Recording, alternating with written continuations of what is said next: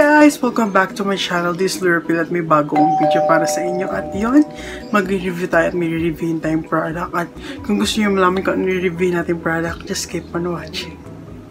Dahil lang ako ako sa inyo na may review akong product ngayon. Tamis ko na mag-review. So ito, may cream tayong review galing sa Face Republic. Ito yung BB Perfect Cover BB Cream from Face Republic. Ayan. Galing siya sa pouch na to yung whitening kit. So, nabibili siya for 707 pero nakasila sila ngayon dahil sinabi ko na sa ibang review 495 so get nyo na nito at para malaman natin kung maganda siya at kung worth to buy siya at kung magkano siya wait alamin ko kasi nakalimutan ko na kung magkano siya. And I'll be back ako na yung price at yun nakita niyo yung skin ko sobrang nag-breakout ako ngayon ang dami kong mga pimples all over my face kasi may tinry akong product na hindi siya nag-work sa akin nakakainis pero hindi to sa Face Republic ah meron pa kasi akong tinatry hindi ko pa ako natatry yung iba nito pero nakapaglagay na ako ng moisturizer nakapaglagay na ako ng Super Screen Sun Gel. Ito bukas na siya. Nalagay ko na siya sa skin ko. Pero ito naman itatry na natin. 32 pesos siya. So, maganda ba ang 32 pesos? Talagang 32 pesos full coverage ba talaga siya? At nakalagay nga rito. Masahin natin yung naka-claim sa likod. Cover blemishes and even out your skin tone to for a perfectly flawless skin. So, tingnan pa natin ibang nakalagay dito. Para makita natin natin. Uh, Face Republic Perfect Cover BB Creams cover blemishes evens out your skin tone for pe perfectly flawless skin with arbutin, snail secretion filtrate, allantoin, adenosine, which have effects on whitening, brightening, moisturizing, anti-aging. So, an a little goes a long way daw to nakita ko rin sa mga review. So, buksan na natin siya. At gagamitin ko pala ah, dam sponge dito at dito brush, stippling brush. So, matest natin kung ano mas maganda pag-apply sa kanya. Ganun naman lagi pag paglalagay ng mga pagtitest out ng mga BB creams, foundation. Oh my god, wala siyang shade pala. So, hindi ko alam kung pwede ito sa skin tone ko. Well, Korean naman to. So, matetest natin kung kaano siya kaganda. Amoyin muna natin. Yung amoy niya typical na BB cream. Ganun naman talaga amoy ng mga BB cream, diba? So, nakakatipid. Magkuha tayo ng product. At ano lang to, 1.5 ml. So, medyo konti. Pero a little goes a long way daw. Ito yung product niya. Test natin dito. Kita nyo ba yan?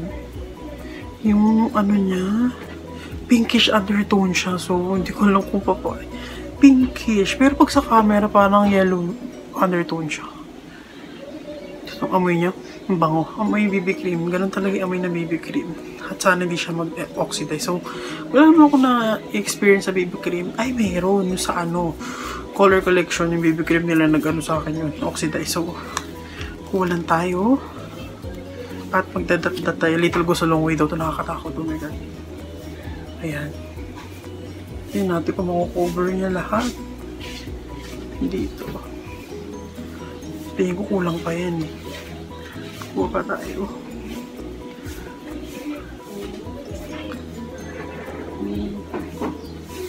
Ayan. So gagamit tayo ng sponge. Para i-spread siya.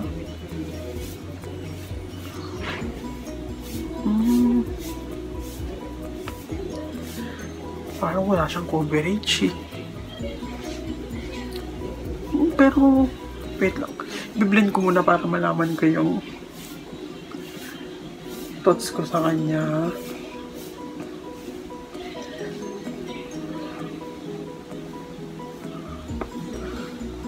Wait lang, blend pa natin para malaman ko rin. Na-even out niya man skin tone ko pero yung mga blemishes ko nandito pa at medyo malagkit siya. Medyo lang naman. Pero wait blend pa natin. Na, na, na din yung sobrang puti diba ito yung real skin ko. Ito yung may product na pero na-even out yung skin ko pero hindi niya natakpan lahat. Wala siyang natakpan actually. So ang sabi kasi dito, cover blemishes and even out yung skin tone. Na-even out niya. Pero hindi niya na-cover mga blemishes ko. So mag-add pa tayo. I-spot-spot natin yan. Hindi pala siya a little goes a long way. Para sa akin. So, spot-spot tayo. Oh my god, napadami. Meron pa ako natitira. Lagay ko na dito sa kabila.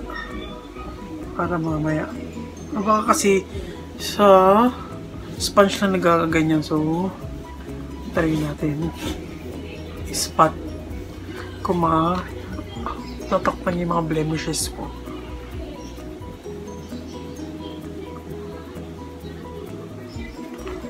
Hmm, medyo natatakpan niya na. Pero hindi pa rin eh. So, babalikan natin siya dito nung tayo sa kapila. So, ayun. Nakikita ko medyo, wala parang ano, yung lightweight lang siya, wala namang pakiramdam, hindi mabigit ng pakiramdam. So, gagamit tayo ng stippling brush para sa kabila. Ini swirl-swirl ko na lang.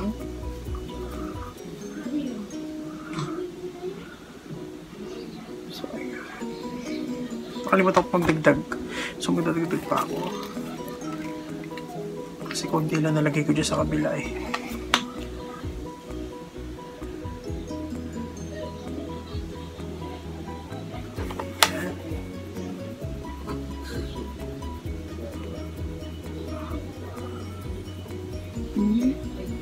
I-blend ko muna ito bago ko magsalita. ah.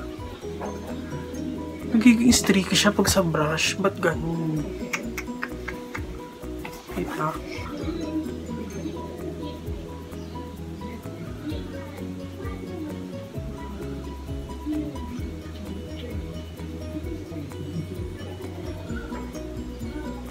Papansin ko parang kiki siya pag sa kabila. Napansin nyo? So, pangit siya sa brush. So, gamit tayo sponge.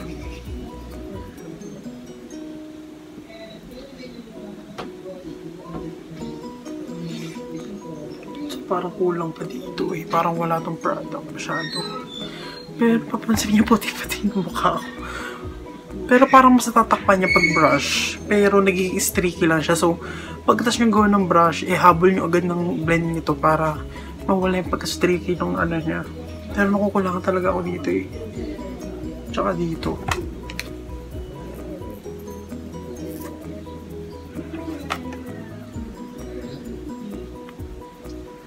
So ayun, nilagdagan ko pa yung mga kukulangan ako kasi buildable naman nung coverage niya. So, pwede.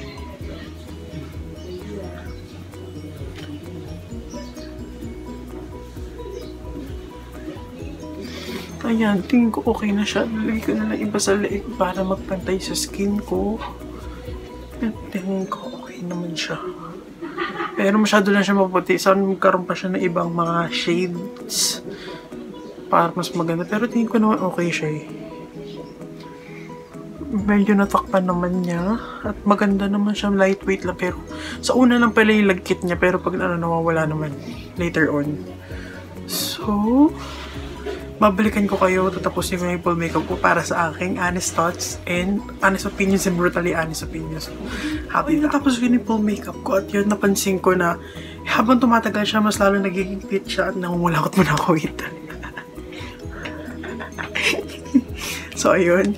Habang tumatagal siya, lalo mas nagiging fit siya sa mukha. So, hindi siya, nakawala na yung pagkaitim, yung pagkaputi niya. Parang, nag, parang nag, nag, yung pag may oil na lumalabas sa skin mo, naghahalo na sila. Pas, mas lalo nagiging pit ng shade sa'yo. Kaya yun yung pansin. Mas yun yung kilay ko kasi tinatamad ako magkilay. So, ayan lang yung full makeup na ginawa ko. Yun ang full face yan.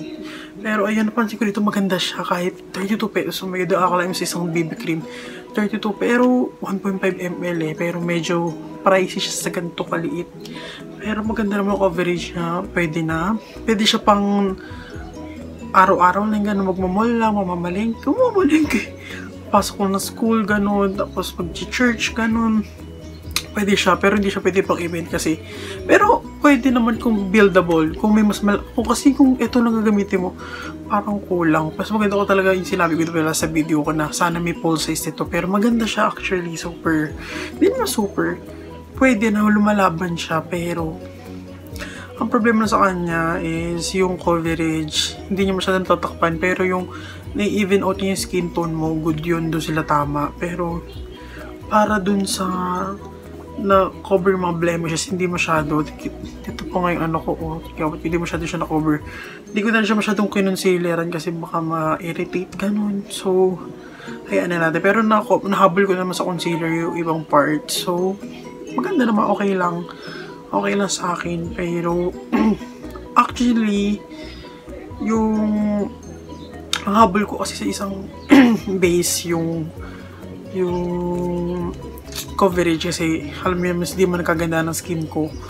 Pero mas katulad dati sobrang lala talaga. Pero yun nga habol ko talaga is coverage pero maganda naman siya. Kung pang everyday look lang ganun pwede siya. Good siya dun. Kaya tingin ko okay lang siya sa akin pero mas maganda siguro to kung may full size ito nasa tube ganun or kaya nasa bottle ganun pero good siya so thank you po Face Republic for sending ulit nitong whitening kit na to at kung gusto, kung gusto nyo malaman ng mga laman nito, meron ako sariling video dyan. Hanapin nyo na lang sa channel ko. Maganda sila. At pansin ko maganda rin ng BB cream nila. And yung Sanja na try ko na rin. Super ganda. Malagkit siya sa una pero habang tumatagal na wala naman lagkit niya. At mabango. Super. Mabango to. And 50, SPF 50 pa siya so bongga.